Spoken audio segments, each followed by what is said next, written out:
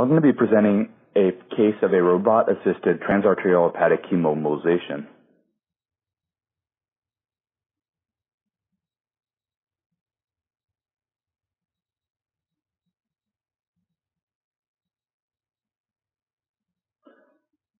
So the patient is a 71-year-old gentleman with a history of rapidly progressive gastric cancer with metastatic disease to the liver.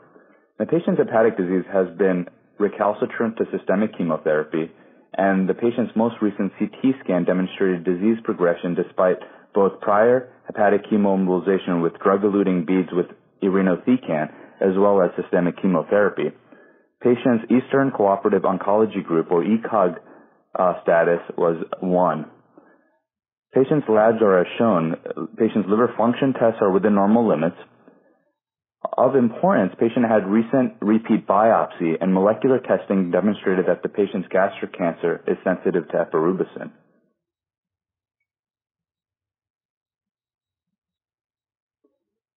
This is the patient's uh, CT scan, which was performed with contrast. As you can see, there are multiple masses involving the patient's uh, liver, predominantly within the right hepatic lobe.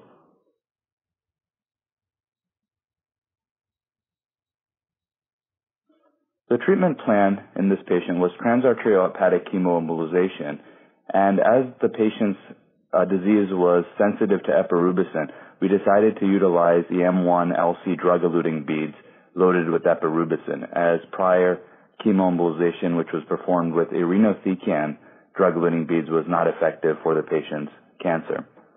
The rationale for the utilization of the Magellan robotic system was really twofold here. Number one, patient's iliac artery was extremely tortuous, which made stable access extremely difficult. In addition, rotation of a manual catheter and selection of the celiac axis was extremely challenging. Second, during prior chemoembolization, both the iliac and the hepatic tortuosity made advancement of a five French catheter nearly impossible. Furthermore, microcatheter advancement distally into branches of the right hepatic artery just was not possible.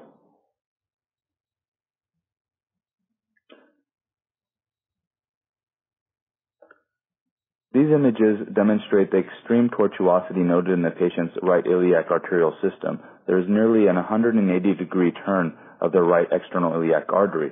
The third image demonstrates that after placement of a stiff guide wire and a long sheath, the iliac tortuosity was strained. However, uh, once the stiff guide wire was removed, the iliac tortuosity was again apparent and bent the sheath, resulting in problems with manipulation of a manual catheter. The utilization of a 6 French Magellan robotic catheter in conjunction with a long sheath allowed for straightening of the robotic system and st- stable access for subsequent selection of the celiac artery. These images demonstrate the utilization of Magellan 6 French robotic catheter, and this catheter allows for extreme flexibility, um, allowing for uh, benting of the catheter in any orientation as necessary, and the second video clip here demonstrates selection of the celiac axis. As is done with the manual catheter, the catheter is bent downwards and uh, basically moved downwards until the celiac axis is selected and then advanced into the celiac axis.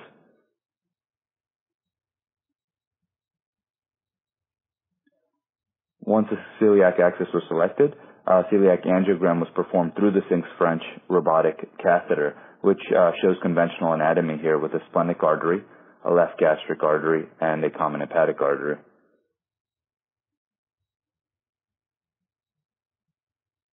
These images demonstrate a selection of the common hepatic artery uh, with the robotic system in conjunction with a 035 glide wire. Uh, initially, the splenic artery was selected, but with a small manipulation of the robotic catheter, um, the common hepatic artery was then selected.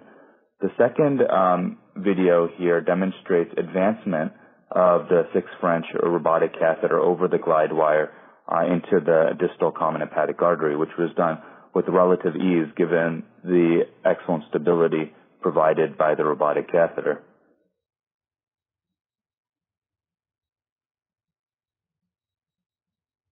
Following advancement of the uh, robotic catheter in the common hepatic artery distally, uh, an angiogram was performed, which demonstrates uh, gastroduodenal artery arising distally.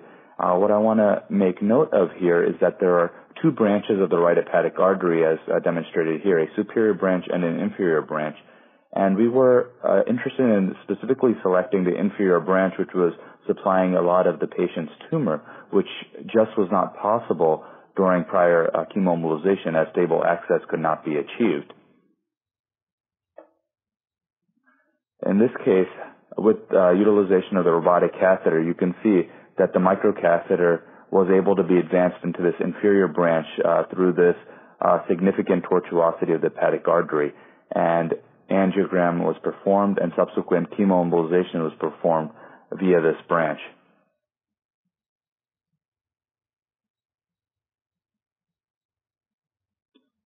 Subsequent CT scan images demonstrate significant necrosis in the patient's treated hepatic metastatic disease as shown on the post-treatment CT images with contrast.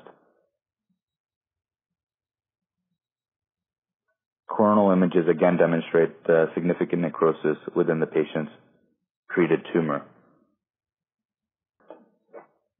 So in conclusion, the robotic catheter was extremely helpful in this patient in performing hepatic chemoembolization. Number one, the robotic catheter allowed for stable access into the patient's tortuous iliac artery, which just was not possible with the six French sheath alone. As previously stated, once a stiff guide wire was removed, the six French sheath still resulted in some bending secondary to the significant tortuosity. And number two, the stable position and ability to manipulate the six French robotic catheter in multiple different angles allow for easy selection of the celiac axis and advancement into the distal common hepatic artery, which again was not possible with the 5 French 035 catheter.